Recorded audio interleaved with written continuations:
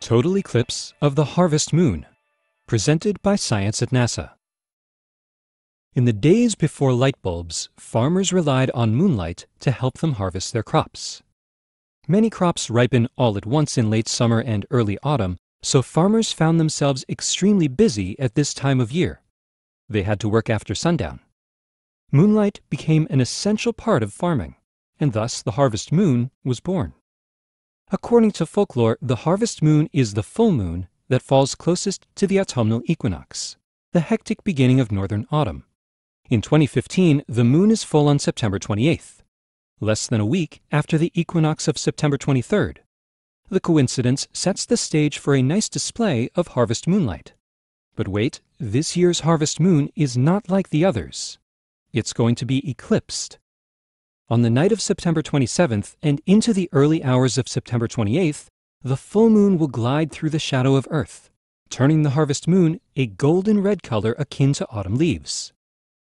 The action begins at 9:07 p.m. Eastern Time on the evening of September 27th, when the edge of the moon first enters the amber core of Earth's shadow. For the next 3 hours and 18 minutes, Earth's shadow will move across the lunar disk, Totality begins at 10:11 p.m. Eastern Time.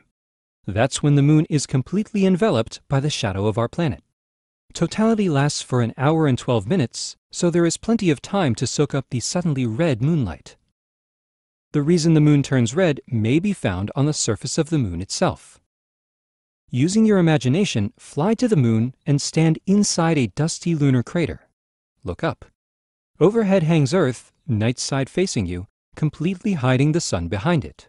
The eclipse is underway. You might suppose that the Earth overhead would be completely dark. After all, you're looking at the night side of our planet. Instead, something amazing happens. When the sun is located directly behind Earth, the rim of the planet seems to catch fire. The darkened terrestrial disk is ringed by every sunrise and every sunset in the world, all at once. This light filters into the heart of Earth's shadow, suffusing it with a coppery glow. Back on Earth, the shadowed moon becomes a great red orb.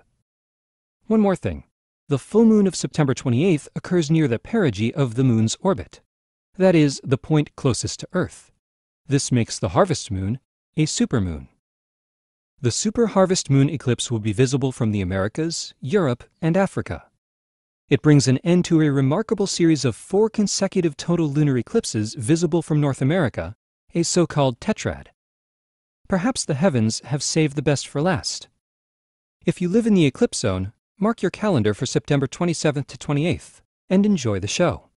For more beautiful sights in the night sky, stay tuned to science.nasa.gov.